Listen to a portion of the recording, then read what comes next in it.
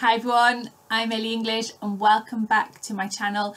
In today's five minute English class, we're going to look at the difference between a pair of vowels and the pair of vowels is e as in bed and a as in bad. And I'm going to explain to you what is the difference between this pair, how do we make them, how do we make them sound different. I'm going to give you a list of minimal pairs, okay, so words that are only different because of this vowel. And then I'm going to give you some sentences with some e and a words in them.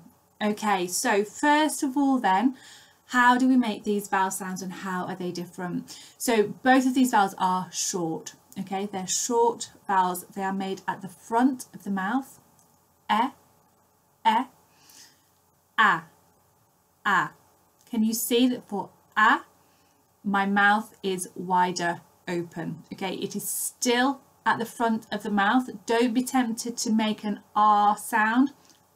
Ah, ah, eh, ah, eh, ah.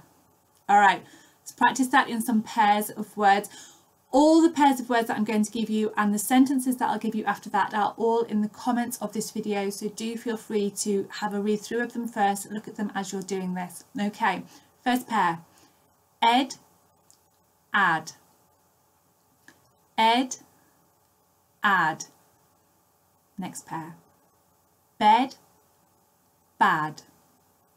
Bed bad. Third one kept, captain, kept, captain. Bit of a tricky one that one, isn't it?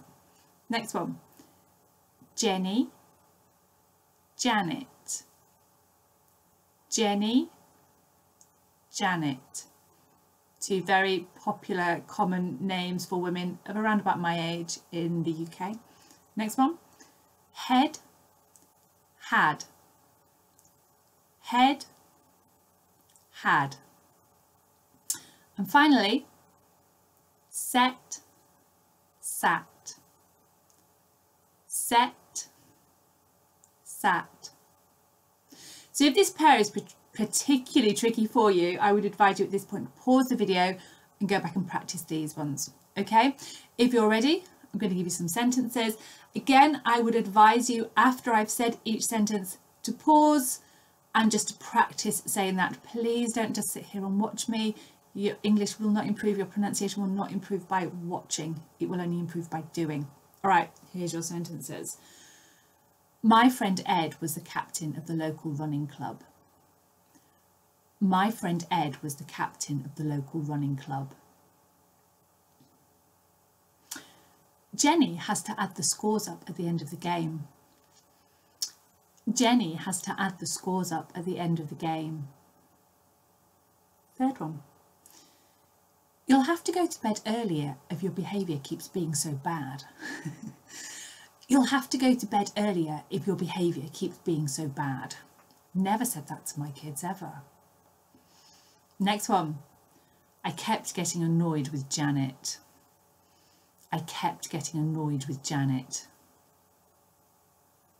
Next one.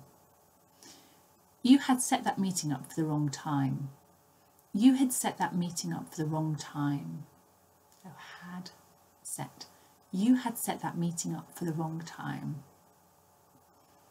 And finally, I told him it would be on his head if he sat on the boss's chair. I told him it would be on his, right, hold on one second. I told him it would be on his head if he sat down in the boss's chair. I told him it would be on his head if he sat down in the boss's chair. All right, I did write this sentence, but I wrote it yesterday. So what this means is if something is on your head, it means it's your responsibility. So we might say, you know, on your head be it, okay? So this one again, I told him it would be on his head if he sat down in the boss's chair. If he sat down in the boss's chair. I told him it would be on his head if he sat down in the boss's chair.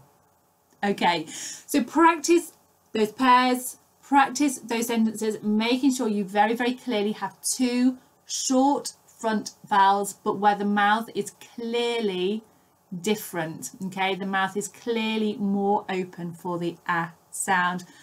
Best of luck with those ones. Thank you for watching. Don't forget to subscribe if you haven't already, and I'll see you in the next five minute English class.